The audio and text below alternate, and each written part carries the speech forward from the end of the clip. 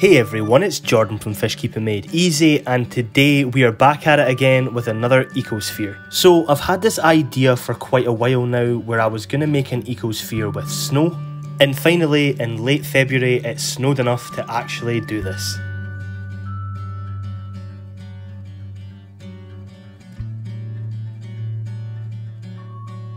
As always, I'm joined by my partner in crime, Seamus, who absolutely loved the snow.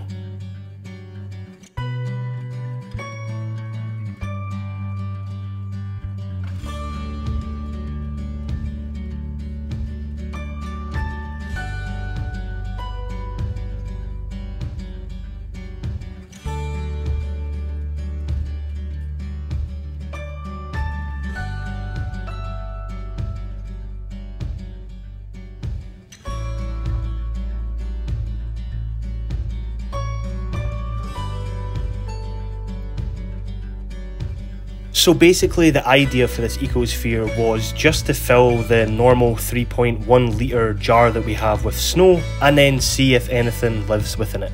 Now, I took videos of the ecosphere at various points, one where it was just completely full of snow, one where it was the snow was kind of melting and it had water in the jar, and then finally when it was just the water in the jar.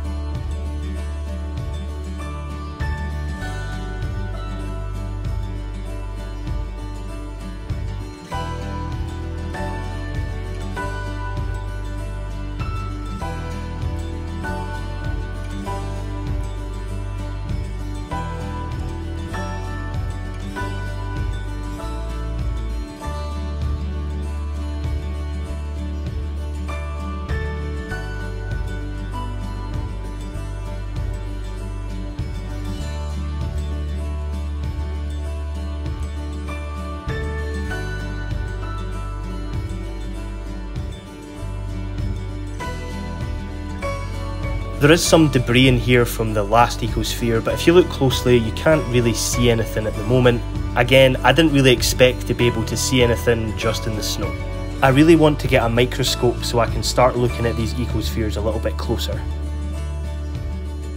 So, one of the issues is that 3.1 litres of snow in a jar is only about 200 300 millilitres, so I had to do this various times, just adding more snow and adding more snow.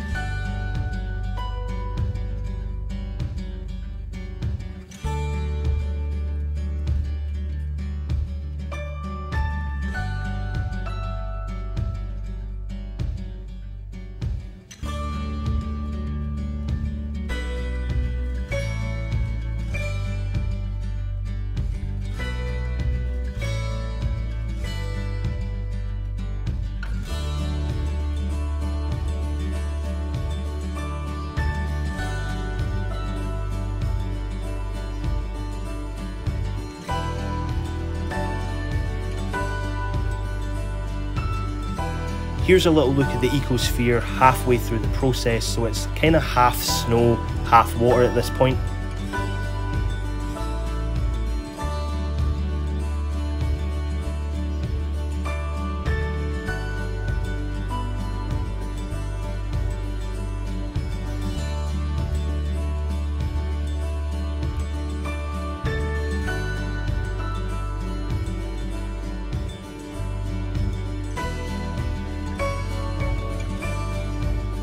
So, yeah, as expected, there wasn't really anything in the water. Now, anything that did live in it probably would have died because the temperature is now too warm as it's used to living in the snow, but I thought it was worth a try anyway, and it was something to do on a snowy day when we really couldn't do anything else and we're basically snowed in. So thank you for watching. There will be more Ecosphere videos coming soon. So if you enjoyed this, please like, please subscribe and also check out our Ecosphere playlist as we have plenty more on there.